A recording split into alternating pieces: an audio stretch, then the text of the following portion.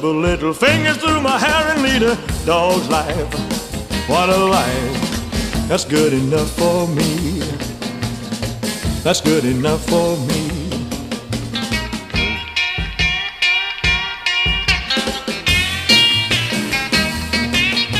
If I had a bone to be picking, a picking chicken or a steak, curled up there in a easy chair Man, that won't be hard to take.